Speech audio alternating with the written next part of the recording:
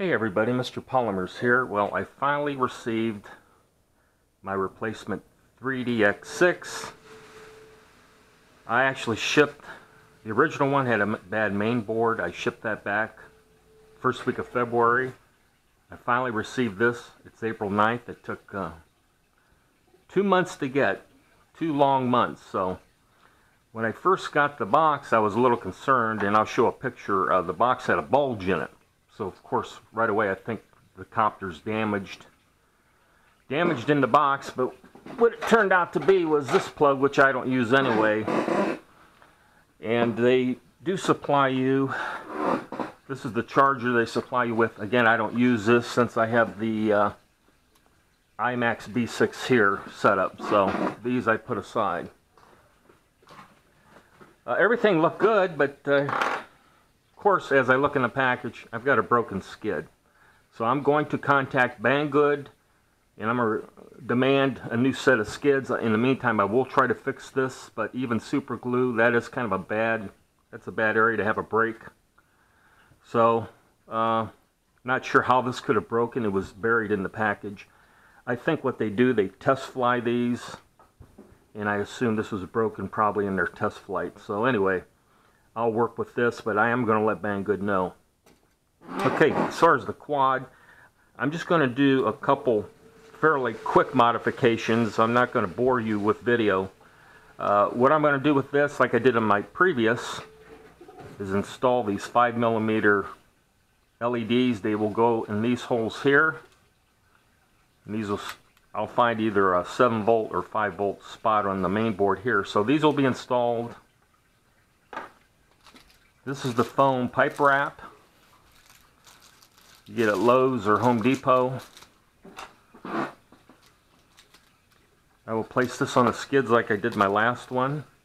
Foam pipe wrap, very simple. And finally, put this away. Finally, I want to go over, I have two, three, actually I have five configurations of blades. Now these are the blades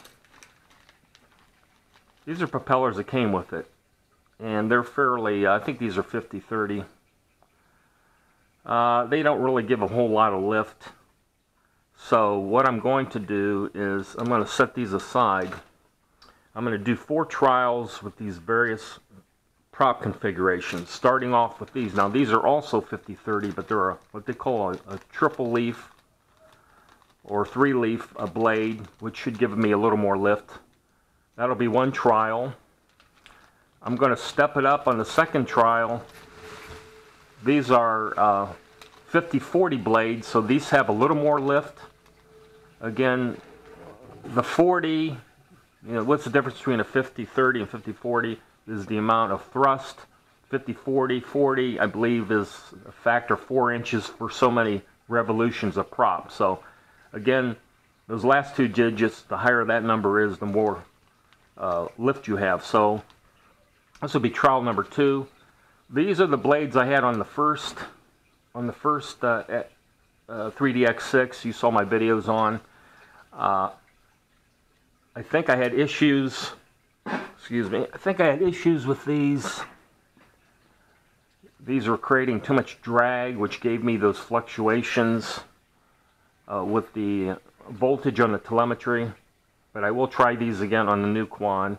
And finally, these are my these are my 6045 uh, triple leaf, which probably of all of these will give me the most lift, but I assume these are also, also create the most drag and use the most amperage on the motor. So these may be problematic. So that's what I'm uh, going to do. That'll happen probably on the next video. But for now, I'm going to go ahead work on this. I'll take a picture. I'm going to open the quad up, kind of check the board out, get these lights installed, again get the foam on the skid, fix that skid, and we'll go from there.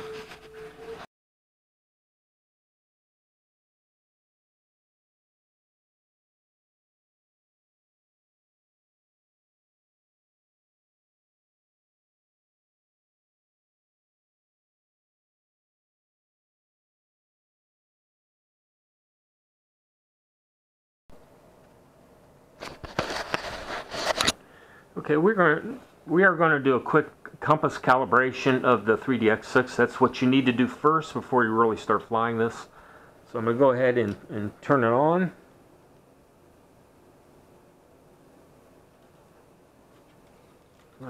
tuck those wires up in there. There we go. Now what we want, what we want, we want these lights, I believe, to be solid uh, or flashing green. We want these lights to go solid or flash, excuse me, flashing green. So I'm going to go and turn the tr transmitter on.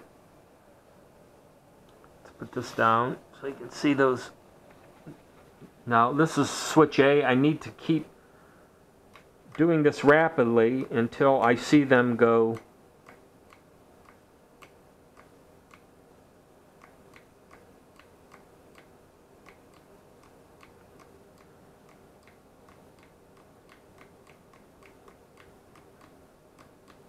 There we go. There's solid green, and I believe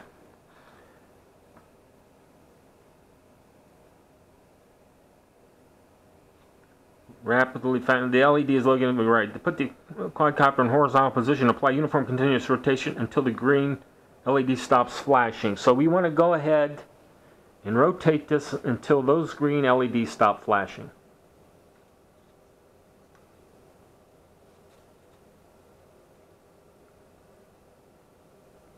There, they stop flashing. So now we want we what we want to do, we want to turn the quadcopter head down, keep the vehicle vertical and apply uniform continuous rotation in one direction until the green LED stops flashing. So we want these to stop flashing. So let's go and put her nose down. On rotator. Again, we're looking for those green LEDs to stop right there. So there we are. Now all I need to do now is unplug the quad and we're all set. Alright, that's a compass calibration. I'm going to turn this remote off and then we'll catch you guys shortly. Let me show you on a 3DX6. Uh, I've got it on. Let's go ahead and take her off here a little bit. You notice the lights to the back, they're blinking red, then they'll go blue. When, the, when we get close to LVC, low voltage cutoff, those lights will rapidly blink, blink red. That's my warning. Now again, this is flying with the uh, 50-40 prop.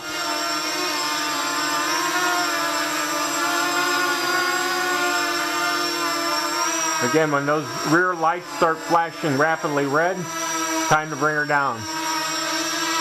Now my voltage shows 7.2 on the, uh, I don't want to run into This thing's very fast, and I really don't like flying it in the house. I'm getting a lot of up, I'm getting a lot of updrafts and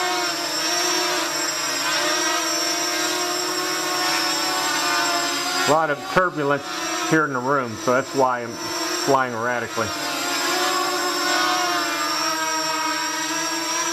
You can see uh, toward the, on the skids I have the uh, antennas. Those are the antennas there.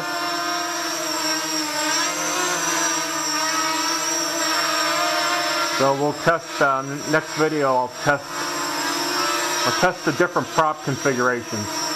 See what kind of a runtime I get on them.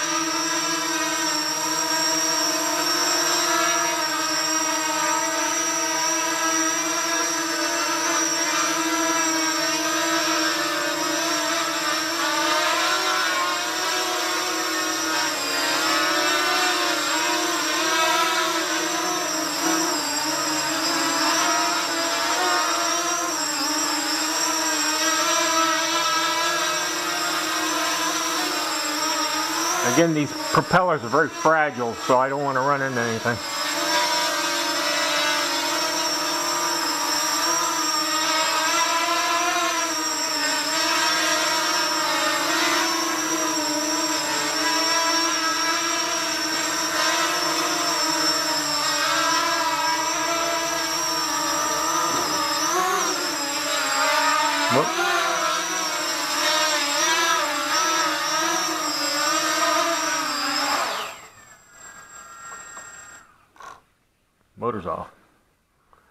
Again, with uh, flying indoors, you get a lot of turbulence, so it's not really, uh, I wouldn't recommend flying anything of this caliber in the house. So again, we're just getting too much uh, ground, uh, too much turbulence from the ground flying in an enclosed area. So, so Mr. Polymer's going to turn that off. Uh, just wanted to show you my 3DX6. Again, we'll uh, we'll do the different various prop configurations I have here, and we'll see what. Again, I'm just curious to see what kind of runtime I get.